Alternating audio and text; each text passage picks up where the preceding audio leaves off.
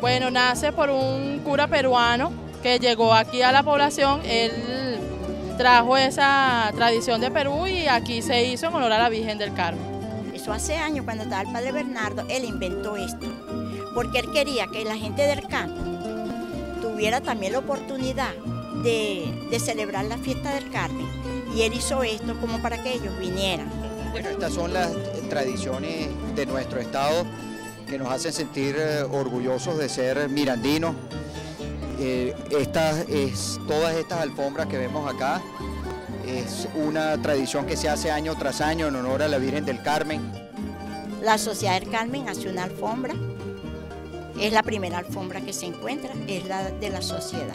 De verdad, de verdad te digo, me, me encantó, o sea, me parece que, que, que, cada día tiene que venir más gente y, y de verdad me, el significado para nosotros es agradecimiento y me parece tan bonito que todo el mundo aquí colabore y participe en esto.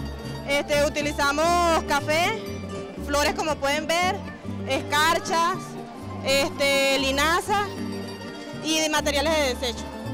Queremos invitar a todos los alrededores de Guatire, de Plaza y Zamora y también, por supuesto, la gente que siempre nos acompaña del área metropolitana a que participen con nosotros en esta festividad.